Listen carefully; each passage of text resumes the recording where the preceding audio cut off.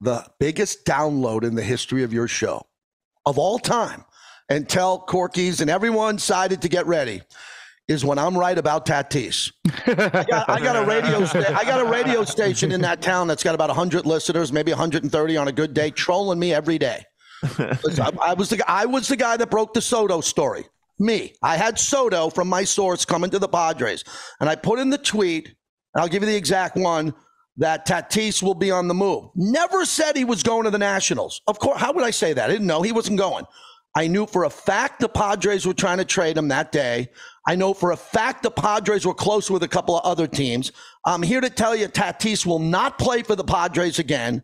It'll be a miracle, especially with the suspension. And they're shopping him as we speak.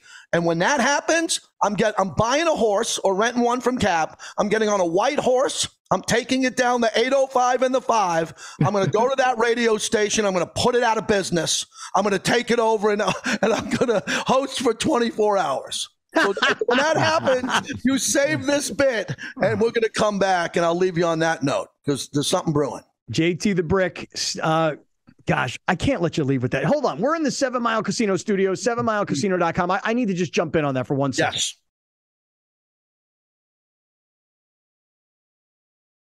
Great friends. We're in the Seven Mile Casino studios here on Kaplan and Crew with Grande and the Brown Man. We're just saying goodbye to JT the Brick, who's been on the air with us for 20 minutes talking about the Immaculate Reception, Franco Harris, Raiders versus Steelers, Raiders last week, and this crazy loss to New England. We're having this whole conversation.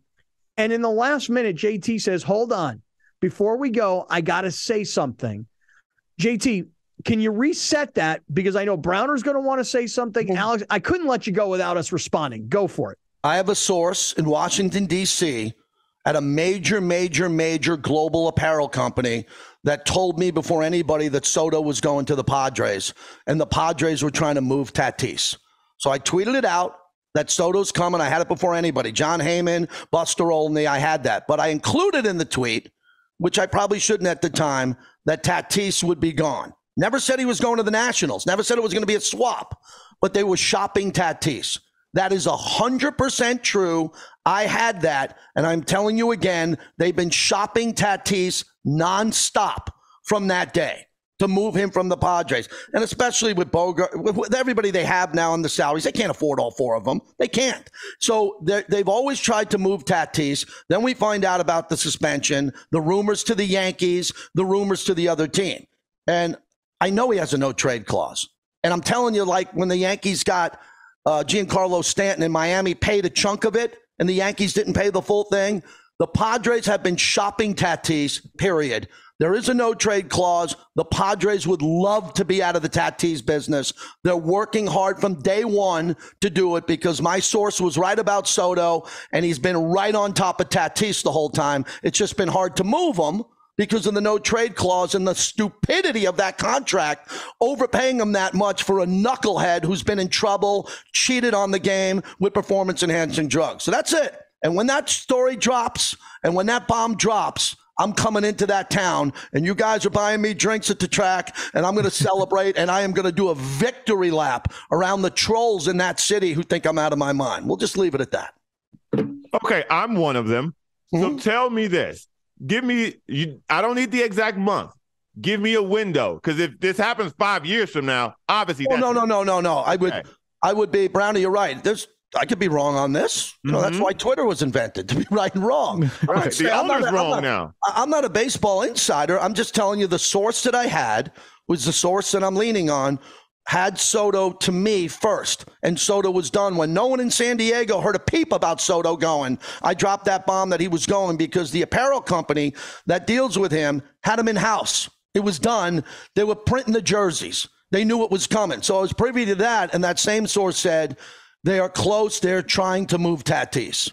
So what I should have said is Soto's out, said nothing on Tatis, put out a separate tweet that said Tatis will be on the move after this one because it confused some people that I was saying Soto straight up for Tatis.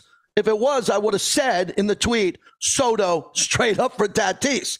That wasn't the case. So all I'm telling you is, even if you love Tatis, he should be gone. They are trying to move him. They've been trying to move him nonstop. Anybody who doesn't understand that is an idiot.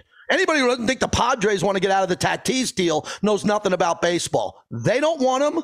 They don't want him since he's been in trouble. They don't want to rebuild his brand as a cheater with PEDs. They're dying to get out of the Tatis business. They just need a dance partner, and I think they have a few who are kicking the tires on the price and the no trade clause. That's it.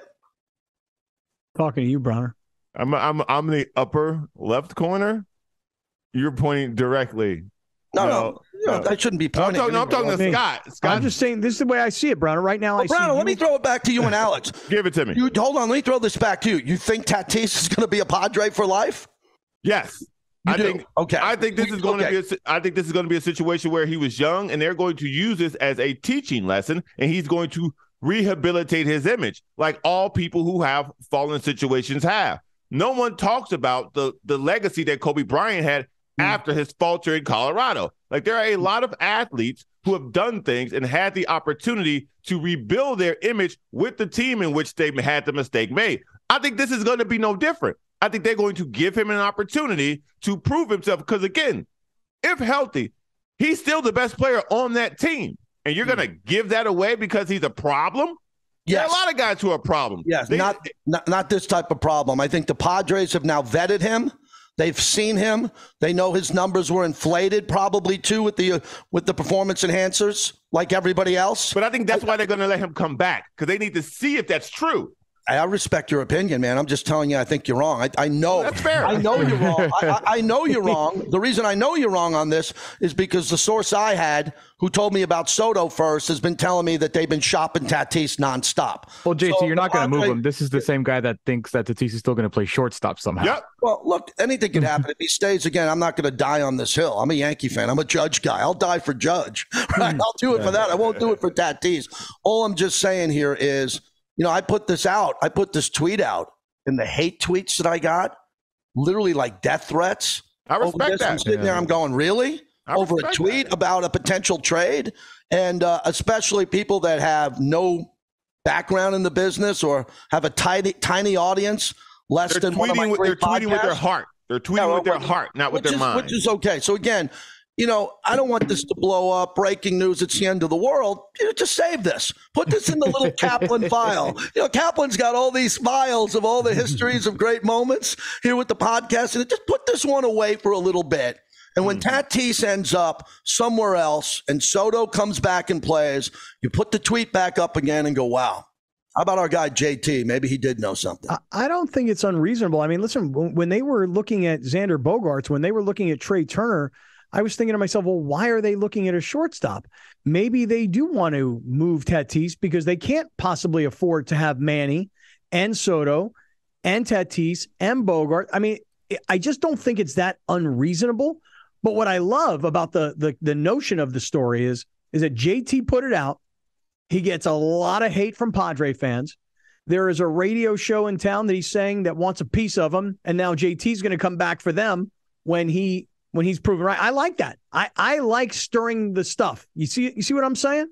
Yeah, I don't like stirring the stuff, by the way. I don't. You know, I, that's one of the things about me. I could have had 2 million Twitter followers if I was a race baiter back in the day or used COVID in politics or one of these a-holes that just went on Twitter every day. I just told you what I knew. I had Soto coming to the Padres. My guy said, hey, they're shopping, they're shopping Tatis hard to get out of there. I think a lot of people, you guys know this, and Browner, especially you, just put Tatis Jr. into a Twitter search today. He got on a plane to go to, to the Bronx. He's on a plane to go there. He's spotted here. I mean, there are people in San Diego that realize they're shopping him. I mean, there are people that are realizing that they'd like to move him. Now, you're someone who doesn't think that's the case, and I respect your opinion on this. So, again, the Padres are a small market team. They can't afford all of these players. The Yankees, the Cubs, the Red Sox, the Giants, and the Dodgers can. I think it's great. I couldn't believe when the Padres were in the market for Bryce Harper. And it made all sense because how great would that a contract been if you look at it now? So they're in the market for Bogaerts, Bryce Harper. They have Tatis. They get all those pitchers. They got all these players that they're re-signing. They got to move one of them. The only thing I would put, and they're the- going the to try only- to move the guy who's the knucklehead that the fans in the fans in San Diego. This should be a good poll on your website. How many Padre fans want Tatis back? The I numbers just push back on the significantly small down. market thing. I just push back on the small market thing. The rest of it, you, I, uh, it's okay. You know, everybody's got an opinion. I push back on the small market part. No, no, that's fair too. I mean, I love you know, you guys know I love San Diego. I lived there for eight years. You're a smaller market compared to LA, Yeah, well, yes, of course. Chicago, and the Bronx with the Yankees. But again, if Tatis ends up staying there, he rehabilitates himself. He brings the Padres a World Series. More power to him. I just have a guy who says they've been they've been they're shopping him constantly. They can't wait to get out of that deal, and they need a dance partner. And they've had a couple of close ones. I just think it's a matter of how much the Padres want to pay Hmm. on that contract and what's left because the team that takes Tatis is not going to pay that full contract. Okay. The team that takes Tatis, of course, Tatis is going to have to agree to the no trade. And why wouldn't he agree to the no trade? Don't tell me he's like, I, you know, this is not a guy who grew up as a little kid saying, I wanted to be a Padre for life.